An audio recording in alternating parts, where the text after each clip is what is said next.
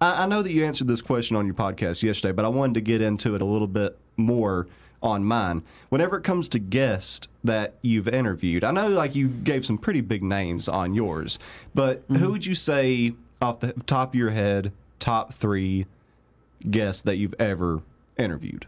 Oh wow, man, you put me on spot again. Um, Yep. I mean, of course, I've said this a million times. Zakk Wylde for sure. Uh, Wayne Static, That was my mouth dropped when you said that Uh, yesterday. That yeah, was and- and- crazy.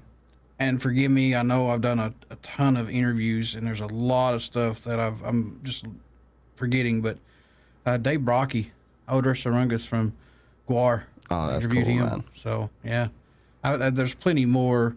Doyle from the Misfits, uh, Ari Vaughn. you got Doyle? yeah, Whoa, I've interviewed man. Doyle several times. He, yeah. from what the interviews I've watched with him, I need to check out yours. I didn't know that, Mm-hmm. but uh, the interviews I've seen, he's such a nice guy. Just such. can be. Well, oh, okay, okay. Well, the interviews I watched, at least, maybe he has different days and where he's in different moods. Sure, and, and that's the thing about. I mean, these they're just like everybody else. They're a human being. They have their good days and bad days. Yeah. It, it happens. It happens even to me and you, of course. And, you and know? sometimes we screw it up too, oh yeah, man. yeah. Uh, one time I got to interview Colin Macri, M- Mackerel, however you say his last name. He's the guy from Whose Line Is It Anyway? The. Oh, the, okay. The short guy. the older on guy. There. Yeah. Yeah. the short older guy. Yeah, Yeah. that's Colin. I can't say his last name.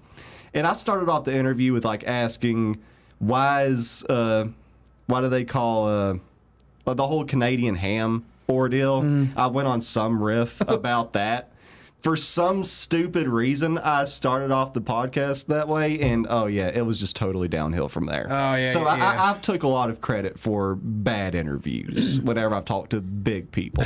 Yeah, you Yeah, definitely sometimes don't. you make the mistake. you definitely don't want to talk about what's in the tabloids. Say, hey, so I heard you were, do, you know, Oh yeah, well I got to uh, I got to talk to uh, Bobby Lashley from WWE, and I brought up the Trump match.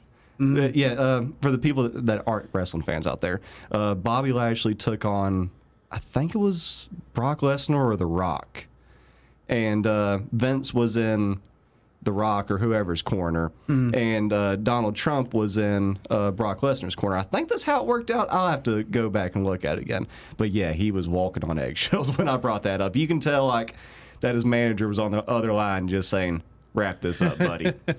it's like Stone Cold Steve Austin gave Donald Trump a stunner. yeah, that yeah, that was the match right there. Yeah, I mean, of course I'm going to ask him about that. It was that's history right there.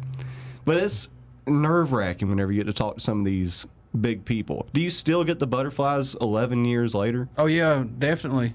Yeah, because it's like first question I ask is it going to pop off good or are we going to be pulling teeth or is it going to be like one of those Chris Farley moments where uh do you remember that you was in this band? Yow. Like from Saturday Night Live skit, yeah. yeah. Paul McCartney, Paul, Paul yeah. McCartney, yeah, Do you remember he was in the Beatles? Yeah. Such a funny skit, Yeah. man.